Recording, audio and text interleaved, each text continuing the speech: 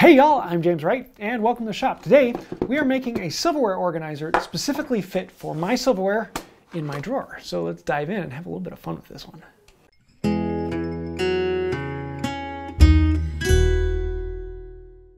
So a couple years ago, I redid our kitchen and I did a video about making a silverware drawer organizer. Uh, however, we added an island and I had a bigger drawer. And I wanted to do this because we got a lot more silverware, having five people in the house. Um, and so I got these trays that fit in here perfectly, and I really like that, except for there's like two inches of slop that really annoys me how they move up to the top. And on top of that, they're not quite deep enough, so our silverware tends to just pile on top of this rather than be organized.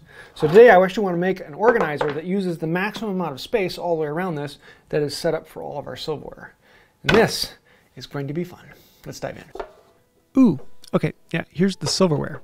And we're going to be putting this into the drawer to try and figure out how big we want this. I want it to have six slots, two spoons, two knives, two forks for different types of each. I want to find where is the tallest utensil and then uh, make the drawer a little bit taller than that. And so that way there's um, enough space for any expansion I might have.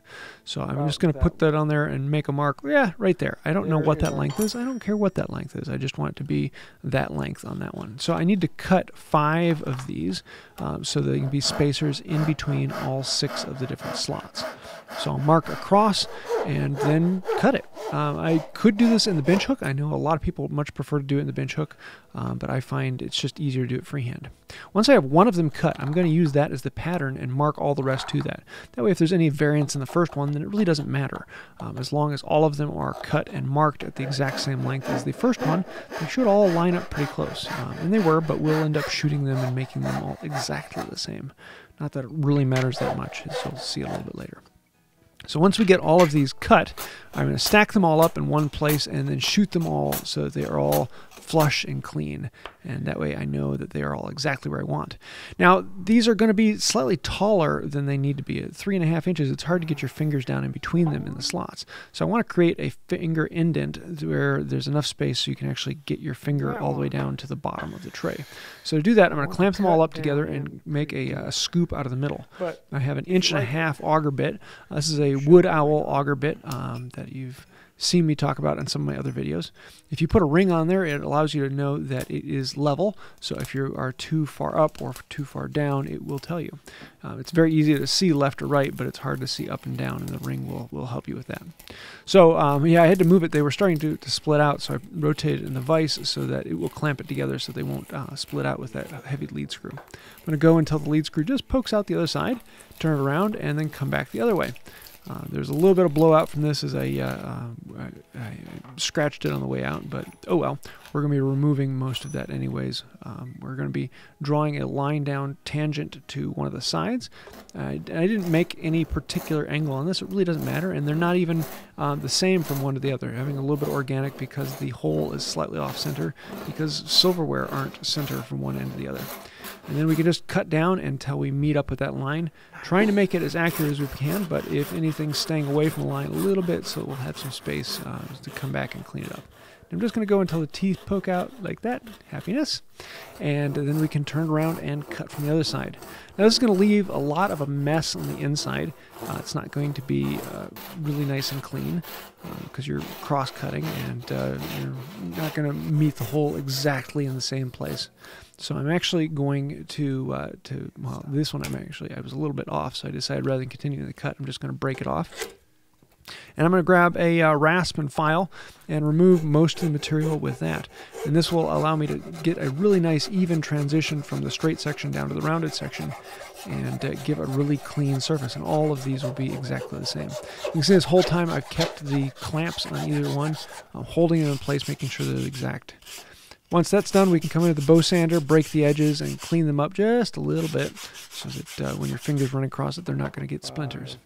And let's see how this goes. Is there enough space so I can actually get my fingers down in between them? And yes, they're the way I like them.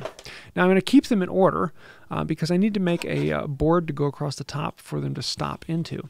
And I'm actually going to make several dados running across this for the each of those last boards to then sit into.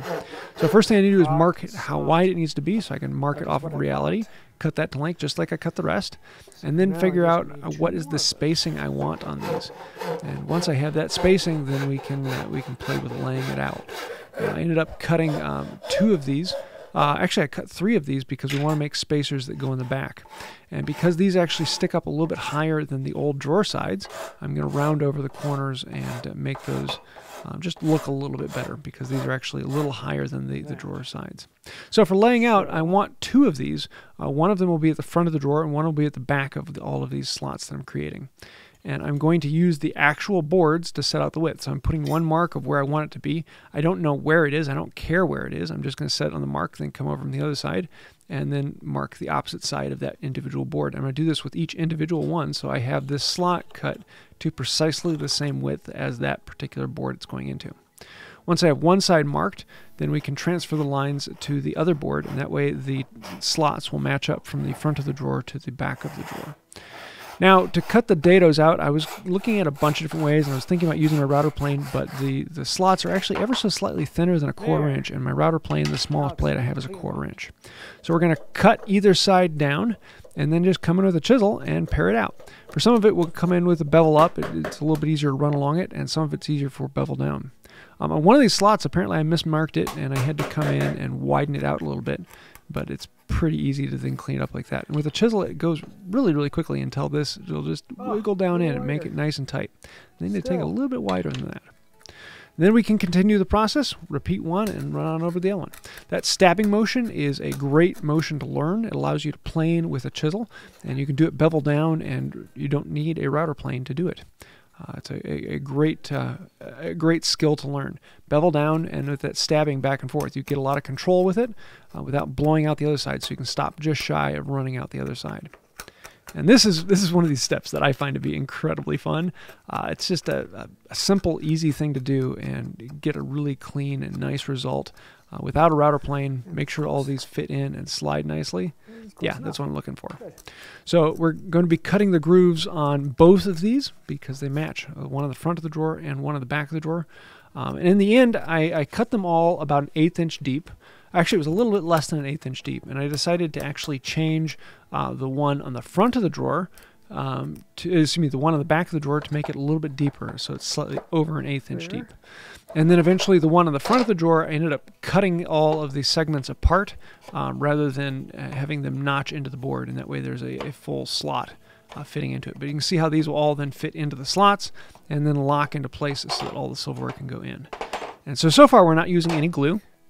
Um, they're all just being held in place. I'm actually going to create spacers to go from that back block all the way to the back of the drawer and then put in one other um, slot separation in there so that I can put in serving utensils and other things like that in the back. Now, for the ones on the side, I need to actually rip them down uh, because the sides of the drawer are only three inches tall and the pieces I'm working with are three and a half inches tall uh, by quarter inch. And so we need to plane them down a little, uh, uh, cut them down, and then plane them down nice and smooth. And these will actually go on the sides of the drawers, separating all of these dividers to keep them at the same distance front to back. So I decided to go ahead and rip them all down to the right thickness, and then I can cut them all to length. And so on the first one, I'm just making a random cut. I want it to be about that far from that divider to the next one. And then I can use that one to measure to the actual um, and use it as the pattern for the other one. Uh, we were talking about this earlier. Um, these uh, separators, rather than having grooves on the tight front, I just decided to cut them all Really, apart really um, at that groove line that I created. And this Hey, creates little they all fit in. separations. It was a little fiddly to get them in place, but it worked out pretty well. And here's going along and cutting those grooves a little bit deeper on the, the back one, uh, just to make them fit in a little bit better. So here we can use reality to mark how long this last divider needs to be. Uh, this goes from the, the last divider to the back of the drawer, um, keeping pressure on all that, holding them into place. And we want to mark that off and transfer it to the other one so we can make sure both of these are exactly the same. Uh, and that way we know that they will they will fit. uh, it's better to do that than a tape measure because a tape measure always enters a, a certain amount of um, irregularity to it because there's a thickness to the line on the tape measure. Uh, so each board will be slightly different. And then this one, I had to cut one extra one to rivet it, rabbit, rivet, rip it into place. So for the, the dividers that go on the side, I'm actually going to use a little bit of super glue and then sprayed the side with activator, clamp it in place, and it's in place. And this way, um, all that is being glued in are the dividers that then touch the outside faces. Um, everything else is just locked in by friction. So there's two dividers in the back, um, and those are separated by the, the dividers on the side. I really need to come up with better names so those are just dividers for everything because it's all dividing different things. You can see how it all pops into place. Um, there are um, separators in between the dividers at the front and then two more dividers to the back so I can put in um, skewers and serving utensils and other things like that. Everything Go is set up the way I want it and tall enough that it all fits in. For finish on this, um, normally I would use boiled linseed oil, um, but I had a bunch of the, the Feed-N-Wax left over, and I thought, let's just go ahead and use it on this. Uh, it's a good one, and I like it for that. So I can pull out all the pieces that aren't glued in place. Uh, it's kind of the nice thing about this this design is if you want to, you can take things out, change them around, and, and change the size. Um, nothing is really locked in because those uh, back dividers are um, on the sides. So, but the nice thing about the Feed-N-Wax is you can put it on, let it polymerize, and then it's done. Uh, you really don't have to do too much to it. Uh, with the silverware drawer, I really don't need it to be incredibly durable because it's going to get banged up. And, oh well. So we can put in the the side to side dividers in the back, and then we can start fitting in all of the main dividers as they slide down into place, locked in the, the groove front and back. And then you can see how all the silverware then goes in and fits in place. Everything has a slot and everything fits in. Uh, it's kind of nice because we have a lot of silverware and to have it all in one rather than pouring over into other slots this is this is fantastic. This is exactly what i want. So if you want to see the old video i have it on doing it with a smaller drawer. now that we have the bigger drawer on the island here it uh, makes it a lot easier for this. Yay! Fun project and uh, i uh, hope my wife likes it. But uh, yeah there's my silverware driver, divider. Lots of fun. Looking forward to using it for many years to come.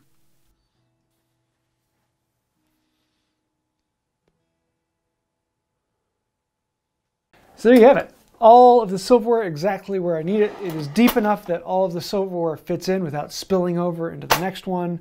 It all fits in here and it's just, it's exactly what I want. Rather than having two of these stacked on top of each other or having a second drawer, it is all condensed and fit in very well. Now, if you'd like to see it, I actually did this project once before on a smaller drawer before we put the island into our kitchen. And now that we have the space for it, we have these full size. So this has been, this is, yeah. Really looking forward to using this because there are a few things that you use in life as much as your silverware drawer. Or at least for me. so I hope you like this video. So if you like that, hop into the comments down below and let's have some fun. So I do also want to say a huge thank you to all the patrons on Patreon, members here on the channel, everyone who's clicked that join button. Uh, without you, this channel would exist. We are primarily supported by patrons and uh, members on the channel. So thank you for that. If you'd like to find out more about that, you can click the little join button and become a member here on YouTube, or you can go down in the description below and become a patron on Patreon. There are several extras and other things like that that aren't included on the main channel, so thank you for supporting the channel. And also, if you do ever meet anyone who's scrolling over the side, tell them thank you. So I think that'll do it for now, and until next time, have a wonderful day. I bet half of you were thinking I didn't actually have silverware, instead I had white oakware.